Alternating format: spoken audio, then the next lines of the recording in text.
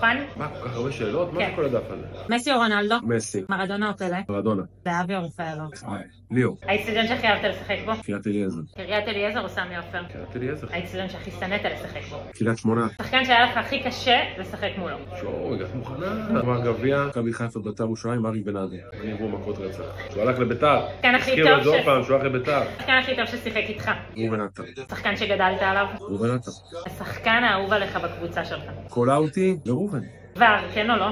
לא. הגול הכי מרגש שכבשת? הפועל תל אביב, קריית אליעזר, משחק אליפות. ליגה אנגלית או ליגה ספרדית? אנגלית, ברצלונה או ריאל? ברצלונה, סיטי או מנצ'סטר? סיטי. השחקן הכי טוב בתפקיד שלך היום, בעולם? בארץ. רפאלוב. בעולם. דה בריינה. השחקן השנוא עליך בקבוצה. לא שונא שחקן. אני לא אוהב את המילה הזאת. המאמן הכי טוב שאימן אותך? רוני לוי, הדר יעקבי או שרון פרי? שרון פרי.